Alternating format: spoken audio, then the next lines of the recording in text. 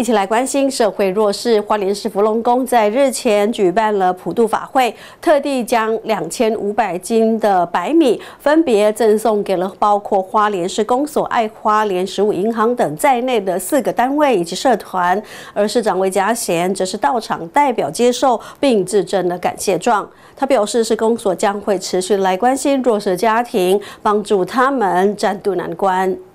花莲市芙蓉宫在日前举办了中原普渡法会，特地将两千五百公斤的白米分别捐赠给花莲市公所、爱花莲食物银行等四个单位及社团，希望能透过社福公益平台的管道，帮助更多弱势族群。啊，历年来，咱特地公庙呢，拢非常热心，啊，用举办这个啊，供养这个米呢，啊，来贡献哦，咱这需要来做这项爱心，来当让土地公庙都卡。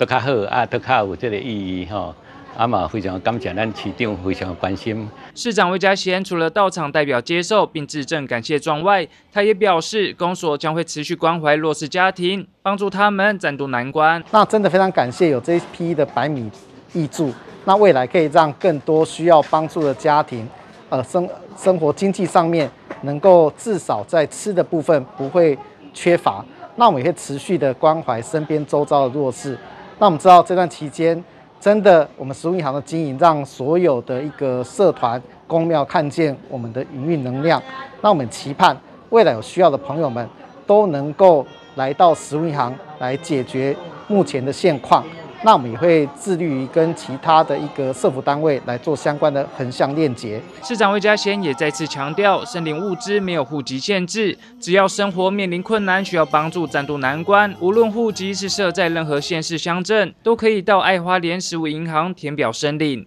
记者徐立琴，华联市报道。